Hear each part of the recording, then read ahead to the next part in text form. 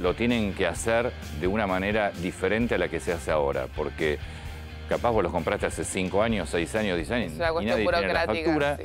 porque vos tenés que, y tenés que demostrar que se quemó por el corte de luz, Sí. es decir, más que por el corte cuando te vuelve la luz en, en esas uvas de... Acá más vale que lo hagan mucho más rápido el tema. Sí, eso Pero también es cierto que del otro lado vos podés ayudarte y decir, che, se me quemó la heladera, el televisor.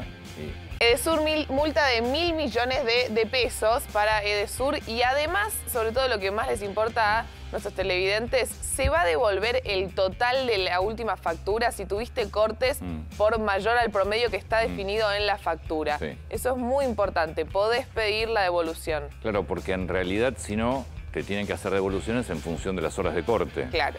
Acá lo que se dijo fue, mira, claro, El por, total. por contrato vos tenés una cantidad de cortes permitidos, si querés. Exacto.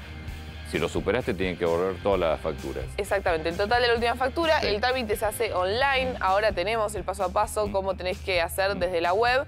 En, e- en ese lugar pones cuánta cantidad de corte tuviste y recuperas la última factura. También se va a poder eh, pedir que si se te rompió algún electrodoméstico, poder hacer reclamos por daños, tanto para que te lo arreglen o... Sí.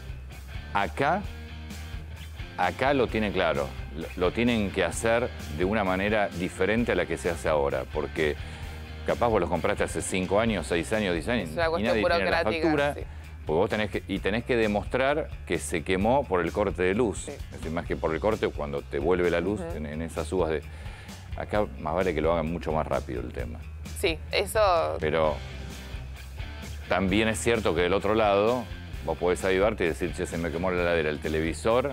Y Es cuestión, en economía se llaman cuestiones de riesgo moral Mm. y se intenta pon- que sea no tan burocrático para quien lo necesita, lo puede hacer, pero desde el punto de vista del lado de la empresa, también que no se aprovechen los usuarios. Es difícil de... Sí, vos sabés que yo no, no sé. A mí me da la sensación de que debe haber alguna manera. Digo, capaz con inspectores Claro. que vayan